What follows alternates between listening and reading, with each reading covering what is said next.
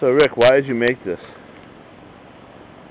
I've made it for years because I just like pyramids because they're cool.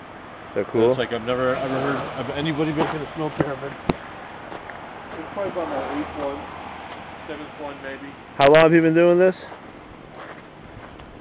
I've been done one for years actually, probably about five years. But I did several, like in the years before. I do a couple a year, you know.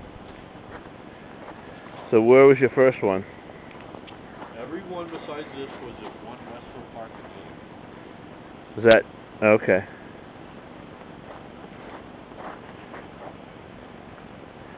Natick the home of Doug Flutie and Rick Lee and Rick Sparrow. and Rick Sparrow.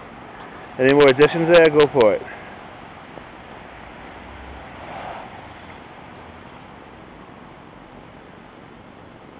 And so, what was your cost of materials for the project? Three fifty nine. Three fifty nine. Such a deal. Colors. I didn't use the yellow because it looked like Chris. Good I actually point. like that with with, with the Watch out where the Huskies go. Yeah, that's right. It looks stupid. But it looks nice like that actually. Yeah.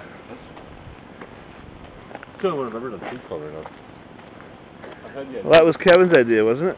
No, I- well, I had that idea for years ago. I think he said He it, just never but, um, implemented it. Yeah. But um, I I thought about it years ago. I just never did it. Yeah. Rocks. Cool. Kicks ass, man. Rock and roll, baby. You know, it's like fucking.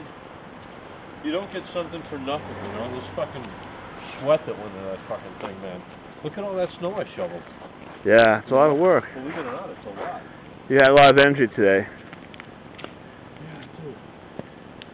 So this is the last chance of the season, so you make good of it, man. Yeah, exactly. It was perfect fucking snowfall. That's great.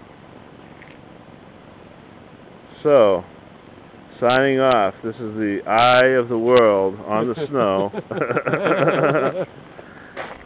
the eye. Remember, everybody, the eye is watching you. They are, electric eye. yeah. Well, they have the satellites. They're all watching all of us.